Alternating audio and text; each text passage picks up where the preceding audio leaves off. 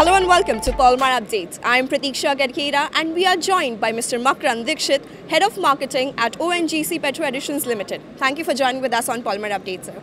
Let me first start talking to you about India's position right now in terms of a petrochemical powerhouse in the world.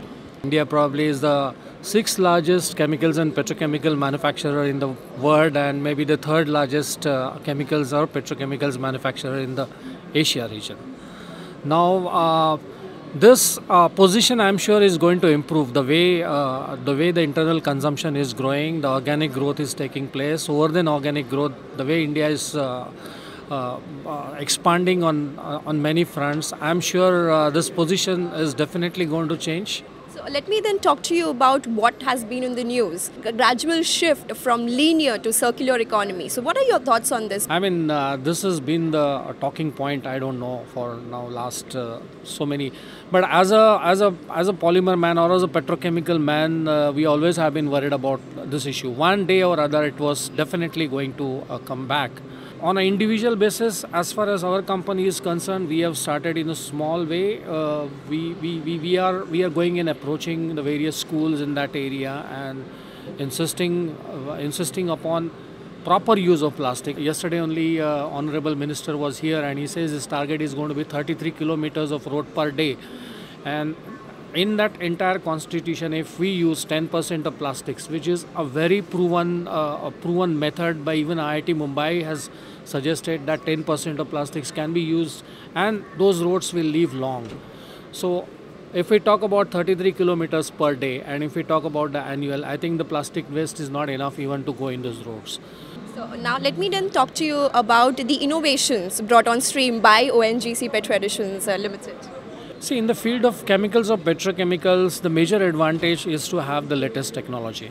That is the first part. I mean, we have a technology for, from a company called Ineos, uh, which is the latest generation technology, maybe dating back two years back or three back. For a company like OPaL, which just started in February 2017, and it's it's been a long journey for us because we waited almost for seven or eight years, but we have uh, we have garnered enough satisfaction from the customers.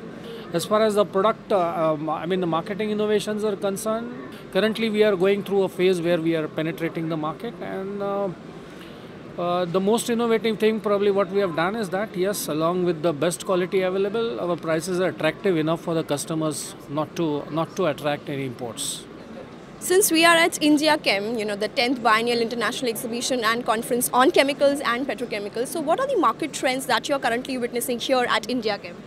As far as chemicals are concerned, I mean, uh, it is an irony that the main feedstocks, ethylene and propylene, uh, probably uh, the rate at which they are going into polyethylene and polypropylene are much more compared to any other country. There is a humongous demand for uh, these products in the country. Uh, quite a few international uh, manufacturers, co-producers, I mean internationally uh, known petrochemical manufacturers are planning to come India and they want to set up a shop for shop in India for these products because these are the products where there is a value addition is probably uh, much much much higher than the polymers. So, talking about the market trends, how has it changed over the last few years?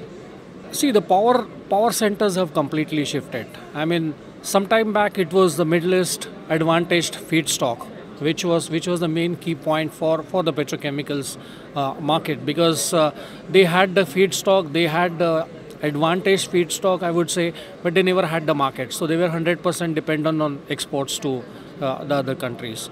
Whereas uh, countries like India always have been supported by own consumption, but unfortunately, 70% of Indian crude is imported today. So we are we are completely dependent on uh, imported cru- crude for our uh, finished products.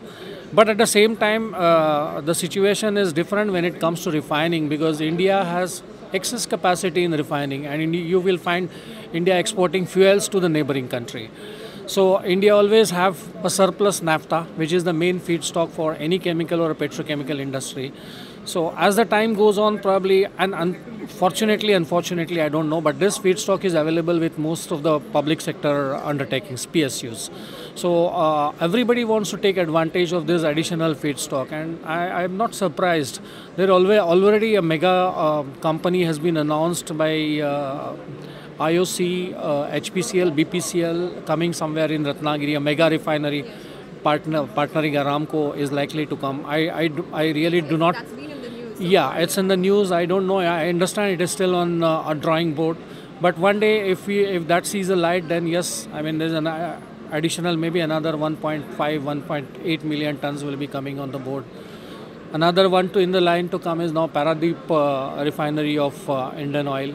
So with all this, I'm sure I mean India is uh, heading for good days in uh, petrochemicals and chemicals. We hope the best for you and thank you for speaking with us. This was Mr. Makarand speaking exclusively to Polymer Update on petrochemical industry in India. For more videos on plastics and petrochemicals, subscribe to our YouTube channel. Many thanks for watching.